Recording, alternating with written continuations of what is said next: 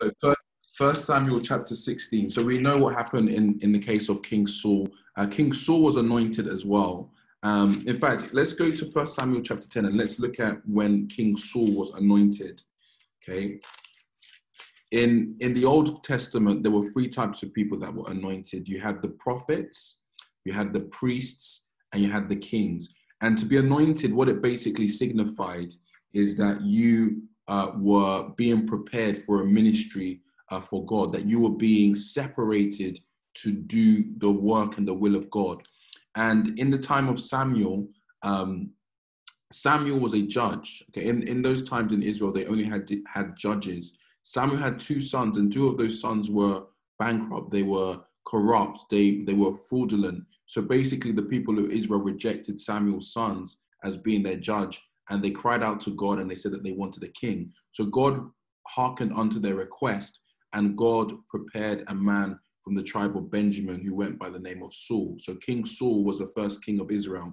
But for, for Saul to operate in the ministry that God had prepared for him, he had to, um, sorry, he had to be anointed. And the same thing applies to absolutely every one of us here if we want to do the work of God, if we want to do the ministry of God, we need to be anointed. But the anointing of yesterday will not suffice in the anointing of today. So that is why we read in Psalm 92, verses 10, that David said, Thou shalt anoint me with fresh oil. And what he understood is that there needs to be an anointing every single day.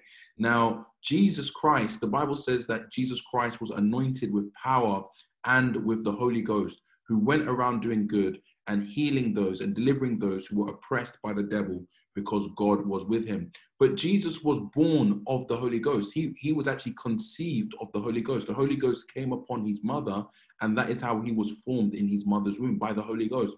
But notice that Christ could not begin his ministry until he was baptized by John and until the Holy Ghost came from heaven and anointed him. It, it smeared him, it, it saturated him, it baptized him. And the same thing applied when uh, the apostles, when Jesus Christ had been risen from the dead, Christ told them, He said, He said, Depart not from, from Jerusalem until you receive the promise of the Father. And he said that not many days hence you shall be baptized, you shall receive power. In fact, let me let me get that scripture up. Acts chapter 1, verses 10.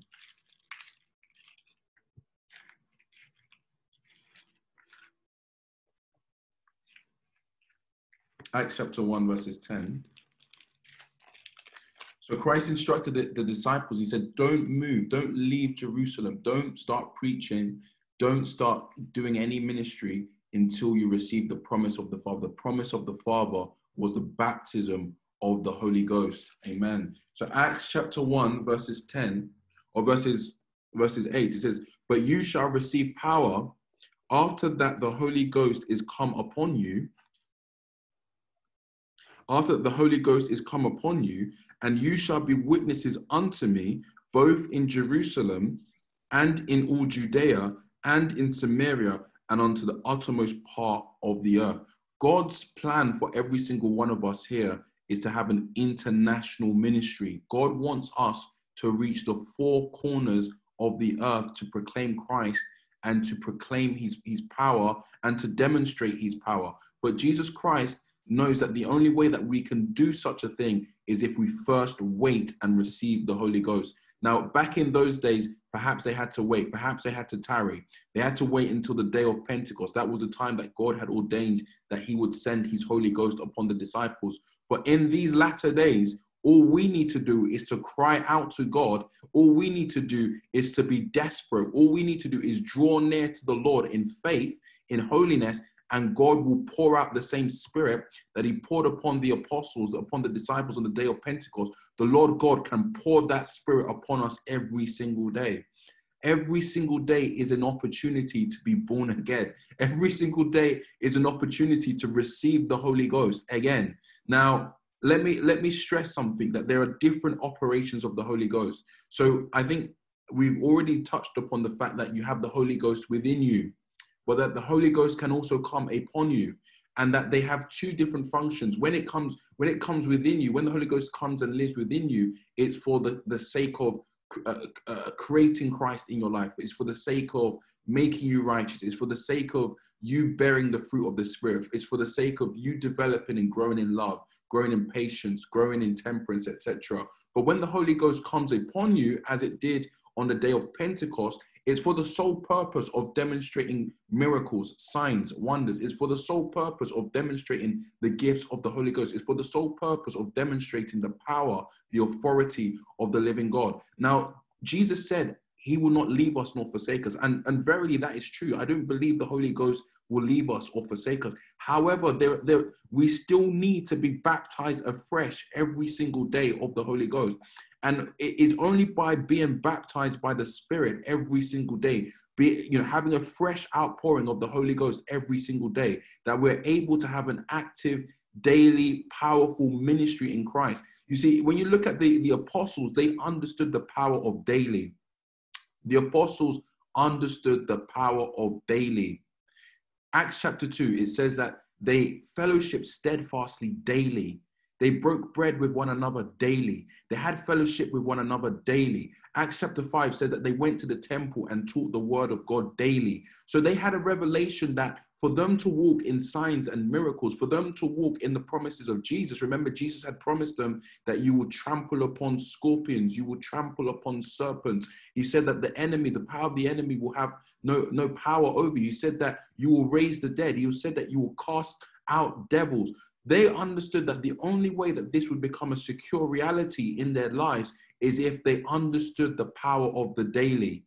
They understood that they needed to fellowship daily. They understood that the prayer of last week, the fast of last year was not sufficient for today. So what they did is they, they as Paul said, they said that they, they, they died daily. They subjected themselves to the Spirit of God daily. They obeyed the word of God daily. They read the word of God daily. They taught daily. They listened daily. They learned daily. They did everything daily because they understood that the only way to receive a day to day anointing, a day to day touch from God was if they learned how to sacrifice on a day to day basis. Jesus said that you must take up your cross every day. Luke chapter 9, if you come with me to Luke chapter 9, verses 23.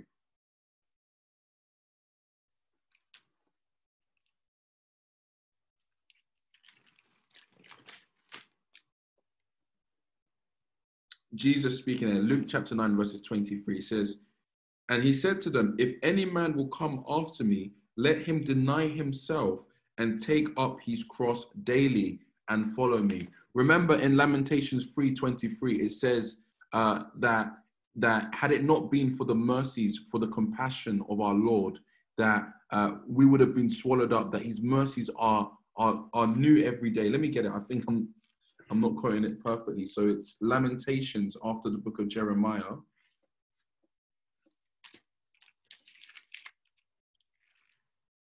Lamentations chapter 3,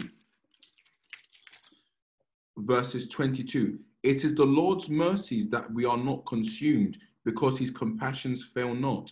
They are new every morning. Great is his faithfulness. Amen. So God is doing something every single morning. God is doing something every single day. And there needs to be a, an alignment for us every single day. Every single day, God has a specific purpose, a specific plan, a specific will regarding our lives and what he had in plan for us yesterday or what he has in plan for us today is going to be different to what we have in, what he has in plan for us tomorrow. Because the bible says that our time on the earth is 70 80 perhaps even 90 years. So the bible says that our, our time on the earth is like a vapor. It, it, it's, it appears and it suddenly goes so how much more will, will god want to do in every single one of our lives every single day every single day is an opportunity to find out what is the will of god for my life today we may have an understanding of the overall uh, purpose that god has for us we may understand that look it's my purpose to become an apostle. It's my purpose to become an evangelist to the nations. Oh, it's my purpose to set up this business and to be a generous uh, giver in the things of God. It's my purpose to raise up these children in the ways of the Lord. We may have all of us here may have a general perspective of what it is that God has called us to do.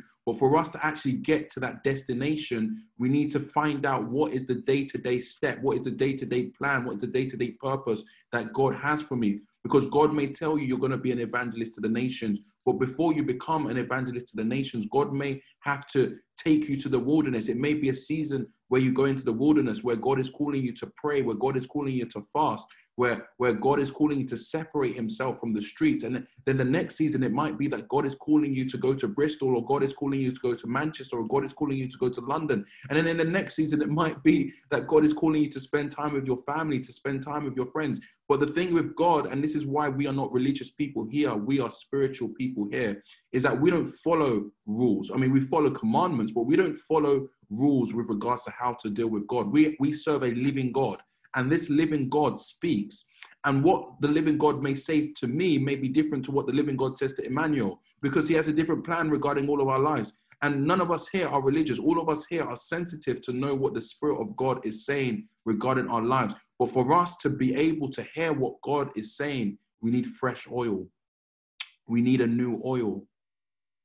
Amen. We need a new oil. The oil from yesterday, the oil from last week will not make you sensitive to what God is saying today. Do you know that God does not do, that God doesn't do the same thing over and over again? I know in Ecclesiastes, Solomon says that there is nothing new under the sun. I know that Solomon says that the thing that was yesterday is the thing that is today, that there's nothing new under the sun. But in the book of Haggai, it says that the glory of the latter house shall be greater than the former. And in the book of Isaiah, it says, Behold, I do a new thing. So, what God did a hundred years ago is not necessarily what God is going to do today. God is good. With God, God does greater things in each generation. So I know we're looking back to Elijah, we're looking back to Moses, we're looking back to the Apostle Peter, but God wants to do greater things in our generation than what he did in their generation. Even Christ confirmed this. Jesus said that if you believe in me, the works that I do, you will do them and greater. So even Jesus was a great encourager for, for greater. So how do we become greater in what God has called us to do? We need a fresh anointing. We need a fresh oil. You see, the path of a Christian is a path of growth.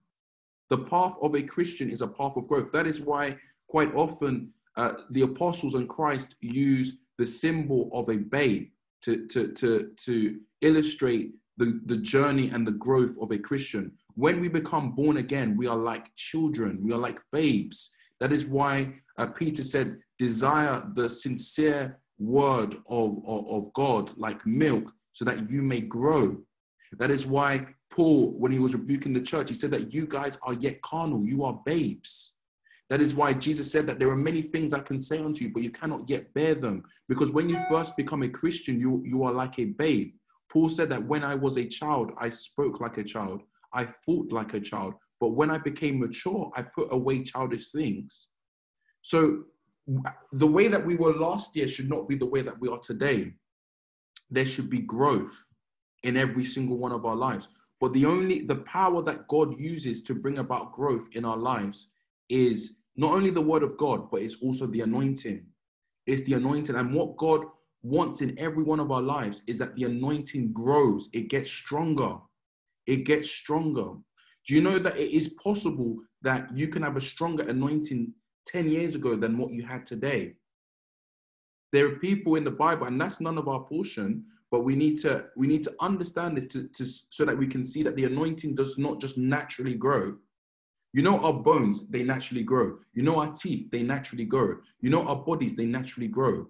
But the difference between the, the natural birth and the spiritual birth is that the nat- with the natural birth, there are natural things that go on in your in, in your body that bring you to maturity, and you have no control over them. They just happen, provided that your parents are there, they're nourishing you, they're giving you milk, they're giving you food, they're giving you a, a warmth, they're giving you the necessary things. You will naturally grow. In the case of a Christian, in, in the case of spiritual growth, spiritual growth does not naturally just take place. For spiritual growth to take place, you actually have to want it to take place. And that is why if you read throughout the Bible, the one thing that God has always been calling these people to do is to draw closer to Him, to draw nearer to Him. Because it's only by drawing nearer to God that you can actually undergo spiritual growth. There are people in the Bible like King Saul, which we're going to read about very soon. King Saul initiated this path, initiated this journey of becoming a man of God. He was he, he was born again essentially because the spirit of God came upon him. He was back, he was um, anointed by, by the prophet Samuel, and it says the Holy Ghost came upon him. So the spirit of God was moving upon Saul. But in the case of Saul, because he didn't understand the importance of, of the, the fresh anointing, because he didn't understand the importance of a, a new oil, all of that went down the drain. In fact, Saul, if you read if you read the life of Saul in King uh, in, in the book of Samuel, his life it went downhill all the way, all the way until he died. The man ended up killing himself. Who would have thought a man of God who was anointed by the Spirit of God, the first king of Israel, would end up taking a sword and killing himself? He was on the battlefield before the day before the battlefield. He went to consult with a witch, and this is the same man when he had the when the, the oil came upon him, the anointing came upon him, the Holy Ghost came upon him. He's the one that made the decree, and he said that all witches, if you don't leave Israel, you're going to be put to death. That's the decree that's that Saul said. He he banished all of them. And then who would have thought a few years down the line, because he has no fresh oil, because the anointing has gone, now the anointing's gone. He has no power to become righteous. Now the anointing's gone. He has the people around him weren't respecting him. The people around him weren't listening to him. The people around him, they were going to David. Even his son, even his son Jonathan. Jonathan was following David. Why was Jonathan following David? Because David had the oil of God upon his head. David had the fresh anointing. The anointing wasn't on Saul's head anymore. So nobody respected him anymore.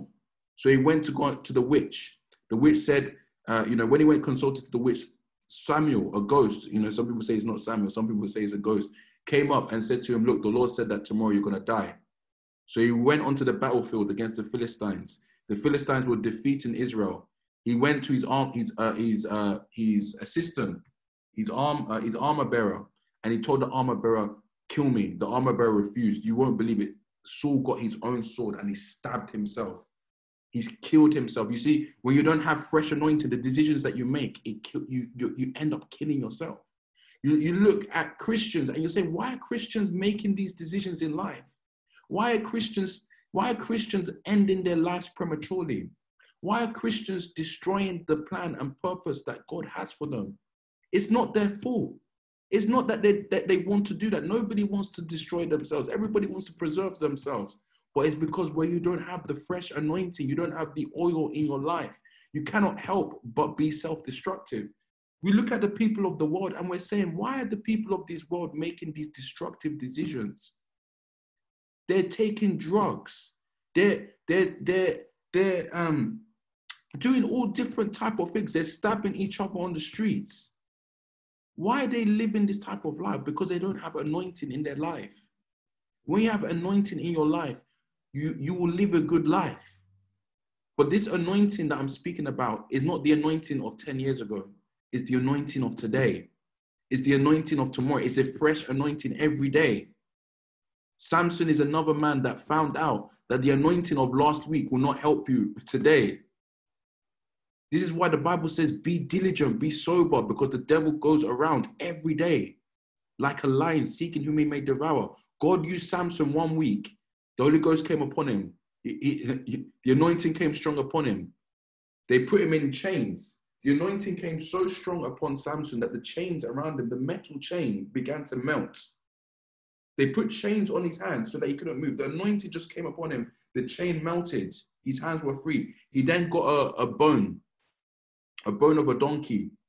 And with that one bone, he killed hundreds of people because the anointing was so strong upon him. The anointing will come upon him. He will pick up a gate of a whole city. He will lift up the gate and he will throw it down when the anointing came upon him. But then when when he was getting comfortable with Delilah, he, again he didn't have a revelation of the anointing of last week. The anointing of last year is not enough for the anointing of today. You need fresh anointing. You need fresh oil. He didn't have anointing with, with when he was with Delilah. So what happened? Delilah came in. The devil used Delilah, and the devil had his way against Samson. Samson ended losing his eyes. That's what happens when you don't have fresh anointing. You, even your vision, your vision is blurred. You you stop having visions. You stop having dreams. You you stop you start losing focus for for what God has called you to do because the anointing has gone. The anointing has gone. Why do we think that when we read about Jesus, Jesus is always praying? He's always praying. He, you know, you know, in Mark, in fact, let's go to the scripture so I can show you. Mark chapter one. This is this is the secret to Jesus's power. Is it because he's the Son of God? Yes. But why did he have so much power? Because he had day-to-day anointing. He had fresh anointing every day. Mark chapter 1, verses 33 to 30, 39. Mark chapter 1, verses 33 to 39. It says, All the city was gathered together at the door, and Jesus healed many that were sick of divers diseases, and cast out many devils, and suffered not the devils to speak, because they knew him. And in the morning, rising up a great while before day, he went out and departed into a solitary place and he prayed. And Simon and they that were with him followed after him. And when they found him, they said unto him, All men seek you. And he said unto them, Let us go into the next towns that I may preach there also. For therefore came I forth. And he preached in their synagogues throughout all Galilee and cast out devils. Amen. So you see, in Jesus' ministry, he was not only a teacher, he was also somebody that casted out devils. He casted out devils, many devils from people's lives. People are going through things in their lives, and the reality is, is that they have devils in them, and the devils are afflicting them. The devils are causing poverty. The devils are causing diseases. The devils are causing mental uh, mental illnesses as well. And without having a ministry where you can cast out devils, then your ministry is not going to be as powerful. Okay, apart, apart from casting out devils from people, Jesus went around and he healed many people. He healed many people. So he wasn't just a teacher. He, he, was a, he was a man of signs. He was a man of wonders. He was a man of miracles. He had a very supernatural ministry. And that is what separates the greatest ministries from those who have good ministries the greatest, the greatest, the people that have the greatest ministries are often the people that move in the supernatural. The people that we refer to as great men of God in the scriptures are people that moved greatly in the supernatural. Think of Moses, think of Elijah. These are people that did supernatural things, things that we cannot quite understand by the human mind, things that God had a, a, a, an important part to play in.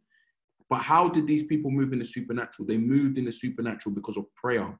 They gave themselves over to prayer.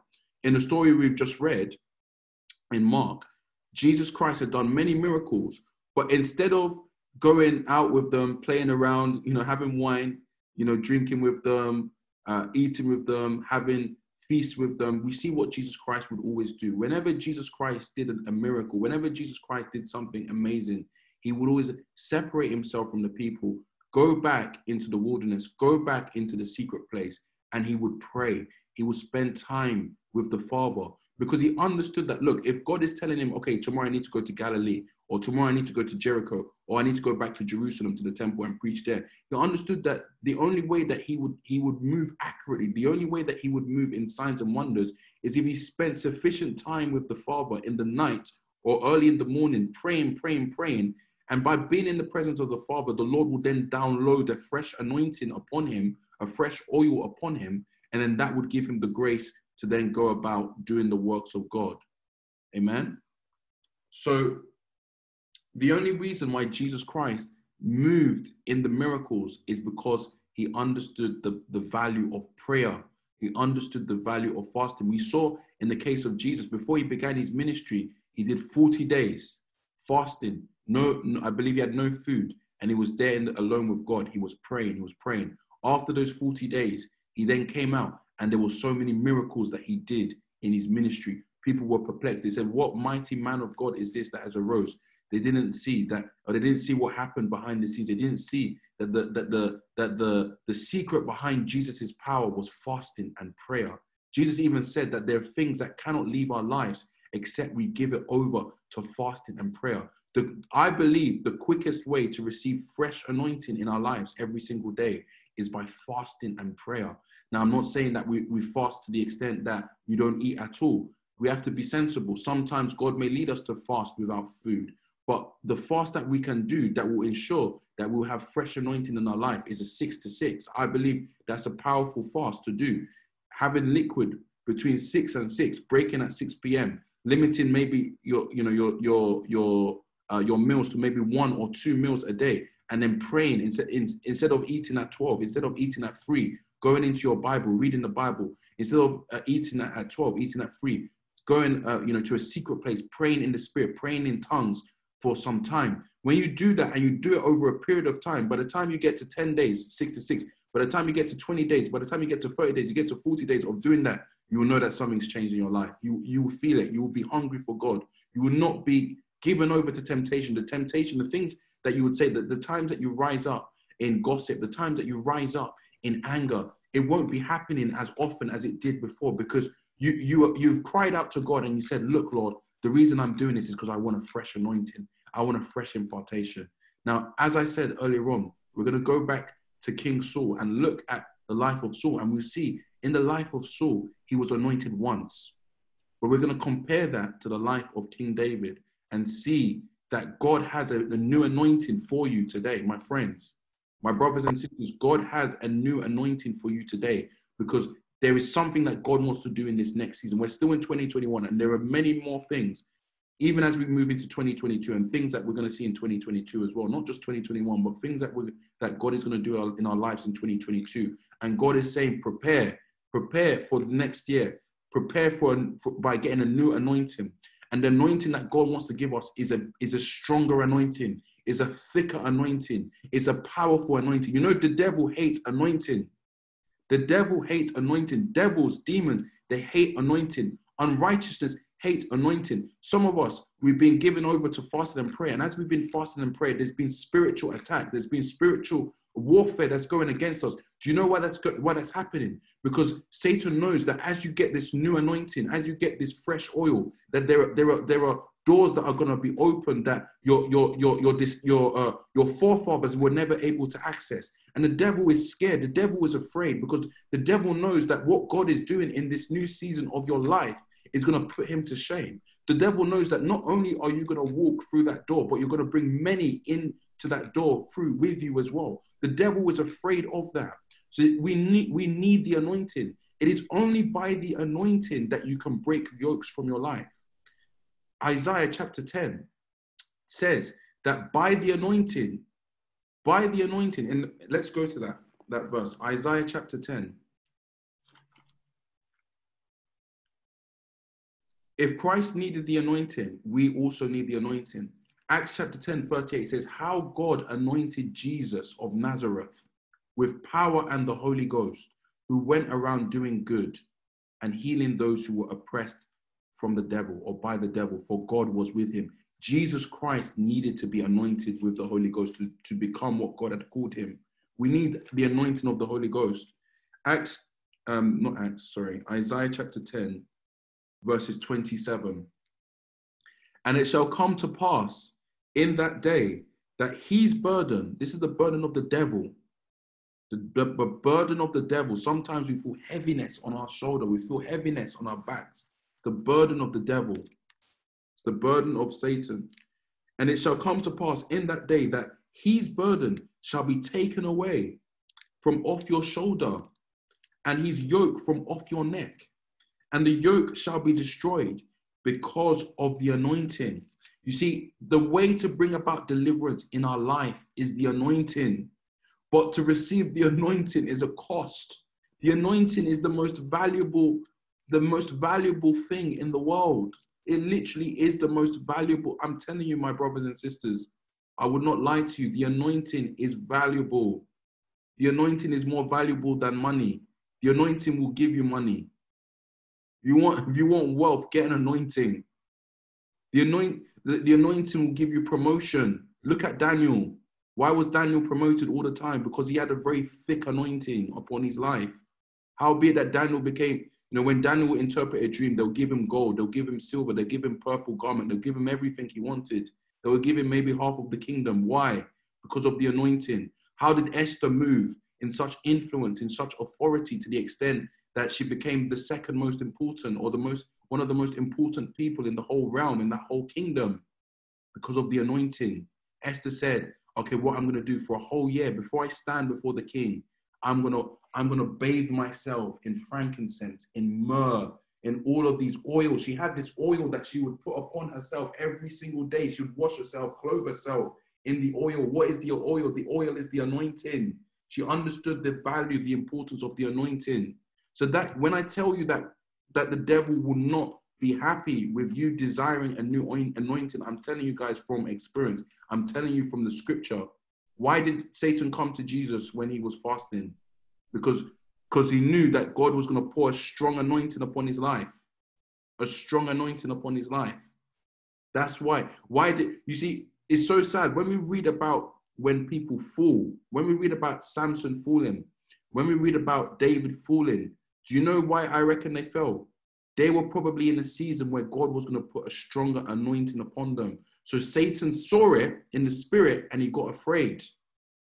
He got afraid. So then he brings temptation into your life because he does, he can see the spiritual realm. You know, you know, as a prophet comes to you, a pro, in the old time, when you wanted to get anointed, a prophet will come to you and he'll pour oil upon your head. That's how kings were anointed. When when uh, when David was anointed, Samuel will come and anoint him. You see, in the spiritual realm is angels. Angels are like the the prophets, you know, of the spiritual realm. And angels come and they literally can deposit oil into you, into your life. They can they can deposit fresh anointing into your life, the angels of God. So that so Satan can see that in the realm of the spirit. So Satan knows when you're about to receive an upgrade. Because when you're about to receive an upgrade, God will send a strong angel. You, you may have a guardian angel that has been with you from, from, from a young age. But when God wants to do something big in your life, he, may send a bigger angel. He may send Michael. He may send Gabriel into your life. So Satan can see when God is sending those high ranking angels into your life. So when he doesn't, he won't hear the conversation between Gabriel and God. He won't hear the conversation between Michael and God, but he will put two and two together and he will say, okay, if Michael is coming to, uh, you know, to Emmanuel or Michael is coming to Jasmine or whoever it may be, then God is doing something in that person's life. So then he resists you. He brings temptation. He, he tries to discourage you. He afflicts you. He sends all of his legions to attack you in the night to discourage you because he doesn't want you to receive the fresh anointing that God has for you in this next season. Jasmine, you wanted to share something. Oh, yes. Um, yeah, thinking about the anointing, anointing will, I mean, it'll, it'll cause you to call things out of the spirit realm into the natural. The, anointing will lead you to the right people, to the right ministry, so that you can be a blessing to people. But it all starts with obedience when we disobey God, when we crucify Jesus over and over again, when we defile ourselves, our anointing starts to leave little by little. And that's why you see some men and women of God in destruction. And it didn't start with whatever we see them falling in at the time. It usually started with something else really small. And then they started to disobey more and more, and their anointing left more and more. And that's why we have to be so vigilant and really stop and think about how what we're doing in the moment, our actions will affect our anointing, because God has to be able to trust us with his promise, with our promise. He can't give us thousands of followers and then we embarrass him. Because do you know that some people, some people dislike the fact that we follow God because they hate God.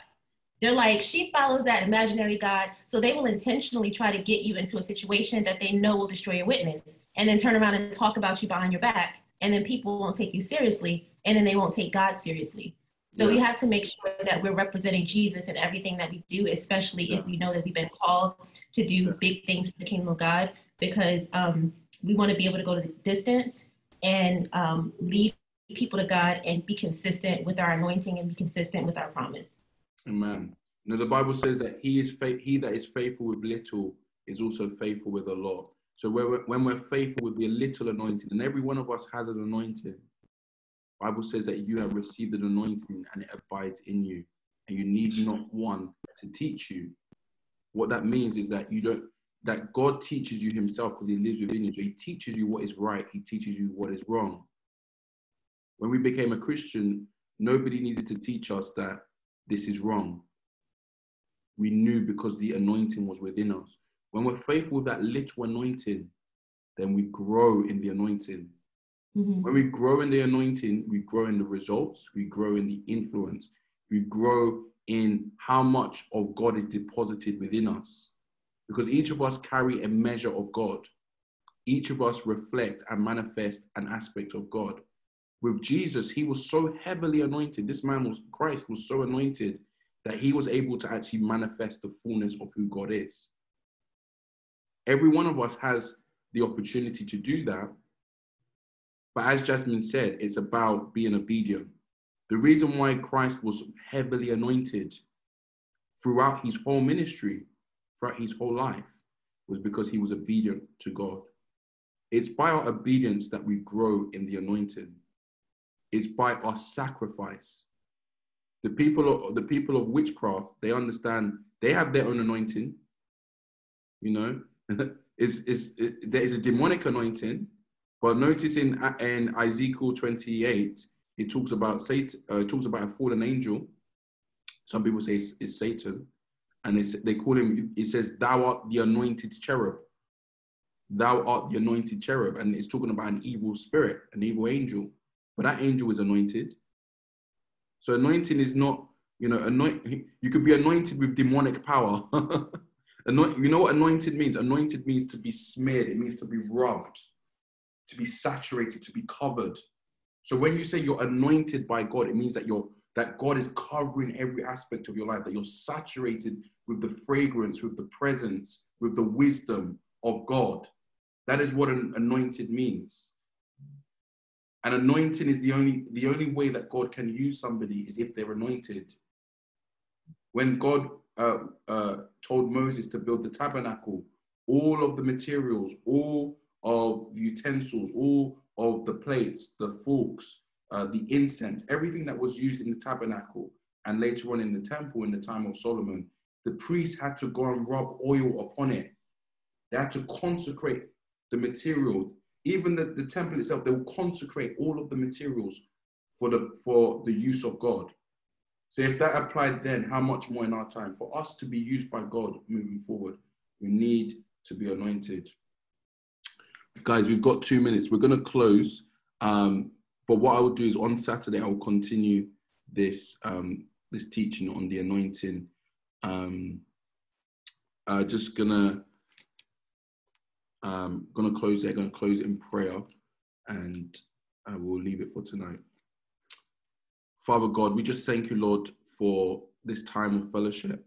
We thank you, Lord God, for your, your presence that's been here. Uh, we thank you, Lord, uh, that you are giving us this new anointing. And Father, we just pray, Lord, that this anointing that you, you're pouring into us tonight, and indeed until tomorrow as well, Lord, that it will be a sustainable one, Lord. It will be one where we desire to have fresh anointing every day. Mm-hmm. Lord, we just pray that we will not be distracted Christians. We'll be Christians that seek your face above all mm-hmm. things, that seek your will, and that walk in your will. Father, we, we, we put our lives into your hands, Lord. We cannot become who you want us to be unless you play an active role in it, Lord. So we just, we, we beseech you, Lord, that you would have grace upon us, that you would favor every single one of us here. Lord, that you would give us the, the sure mercies of David, Lord, that even as Jesus Christ grew in grace, in favor, in wisdom, Lord, I pray and I decree that every one of us here would grow in grace. Every one of us here would grow in wisdom. Every one of us here would grow in stature. Every one of us here would grow in favor, Lord, in the name of Jesus Christ. Amen. And I just pray, Lord God, Amen. that as we've spoken of men who they dwindled in the anointing, that will not be any of our portion in the name of Jesus. But as David grew in the anointing, as Jesus grew in the anointing, that will be our portion in the name of Jesus Christ, Lord God. And we pray, Lord, that not only will we grow in the anointing, that we would teach many other people, Lord, to grow in the anointing also, in Jesus' mighty name. Father, we pray, even as we read about Isaiah 10, verses 27, where you said that the anointing will, you know, because of the anointing, we will break every burden, every yoke off our shoulder and our neck. I pray that we will be yeah. so heavily, heavily anointed, Lord God, that sickness, that death, mm-hmm. that affliction, that, that impurity, it will not even be able to, to, to be anywhere near us in the name of Jesus. It will not have any right near us, Lord God, that it will flee from us in the name of Jesus. And Lord, that with the anointing that you will give us, Lord, that we will be used to deliver many people, Lord God, to deliver them from pain, to deliver them from heartbreak, to mm-hmm. de- deliver them from affliction. Mm-hmm. In the mighty name of Jesus. Father, I pray that we will be completely whole in the name of Jesus Christ. We will be mm-hmm. completely whole and healed in the name of Jesus Christ, Lord God. And I pray we will not look back, but we will march on forward to receive our due reward in the kingdom to come. In Jesus' mighty name. Amen. Amen. Amen. Amen. Amen. Thank you. Amen. All right. God bless you.